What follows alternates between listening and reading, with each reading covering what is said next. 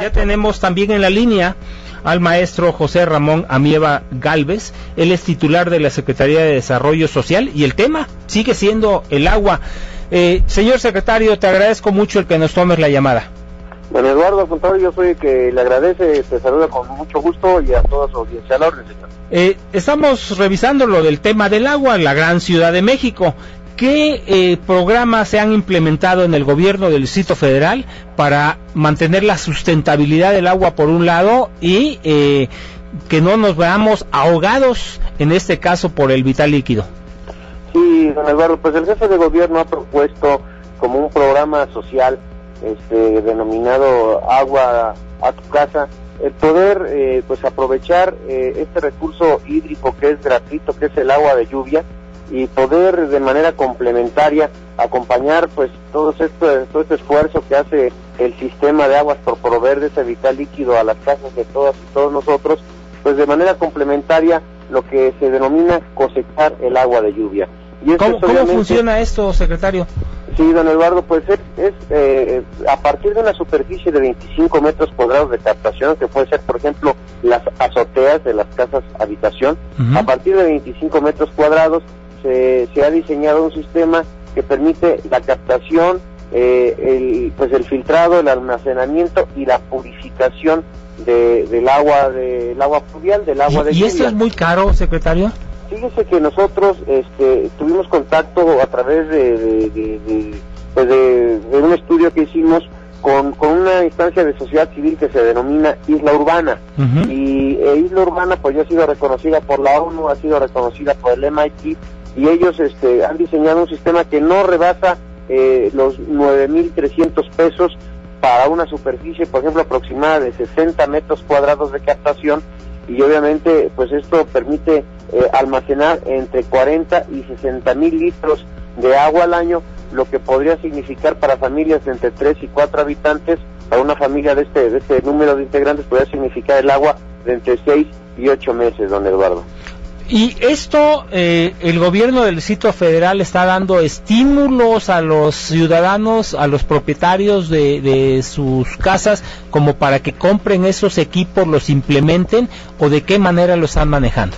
Sí, el doctor Mancera ha instruido dos aspectos muy importantes. El primero, estamos arrancando, digamos, como, como una situación piloto con 300 equipos de, captación de agua pluvial, que incluye equipo e instalación son 300 equipos que hemos llevado a nuestros comedores este, públicos y comunitarios y se han distribuido en delegaciones como Iztapalapa, como Xochimilco, este, va a ser en Milpalta, en Tláhuac. ¿Y se los van a cobrar o se los van a dar de manera, de manera gratuita? 300, Ajá, 300 de entradita. Estamos platicando con el licenciado en Derecho y maestro en Administración Pública, José Ramón Amieva Galvez, él es secretario de Desarrollo Social.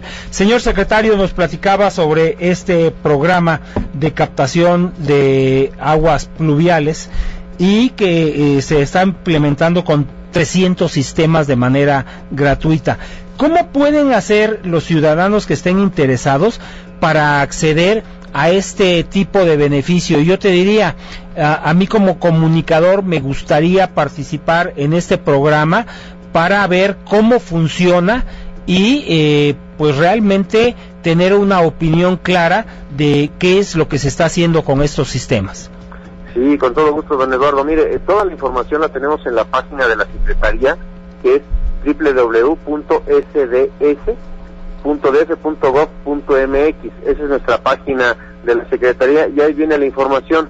Pero además, este, señalar, don Eduardo, que con gusto nosotros incluso le podemos llevar a cabina parte del equipo de, captación de agua pluvial. Es un, es un equipo muy sencillo que ha diseñado esta, esta sociedad civil que se denomina Isla Urbana y pues es un equipo que primero lo que se necesita es habilitar la superficie de captación que reitero puede ser pues la azotea de una casa y después de ello viene todo el tema del filtrado este viene viene incluso es un, viene el diseño de lo que es este este este, este el, primer filtrado y después se deposita pues obviamente lo, ideal para un, una superficie hablábamos de 60 metros cuadrados pues es un, un depósito un tinaco de 10 mil litros que puede estar a superficie de piso para no dañar estructuralmente las, las casas de habitación.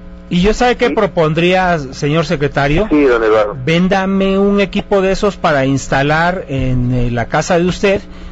Lo probamos, lo checamos y al aire, después de qué le parece esta época de lluvias que ya se nos viene encima, eh, ah, nos juntamos en esta mesa de trabajo y platicamos sobre los beneficios o los maleficios que pueda tener. ¿Qué le parece? No, don Eduardo, encantado. Y además decirle que la segunda opción que el señor jefe de gobierno es quien, quien desea adquirir este este pues este, ¿Estos este diseño, estos equipos, eh, la parte de instalación este, y mantenimiento corre a cargo del gobierno de la ciudad, entonces usted nada más pagaría lo que es el costo del, del, del, del, del pues del equipo, de la Pues instalación. yo me apunto de primera mano. ¿eh? eh, secretario, y también me gustaría si nos hacen el favor de contactar con la empresa que le está suministrando los servicios para invitarlos a esta mesa de trabajo y que nos cuenten a detalle cómo funciona, cómo se instala, qué tipo de filtros tiene, qué cantidad de agua recibe y cómo se hace para que sea de consumo humano, ¿no?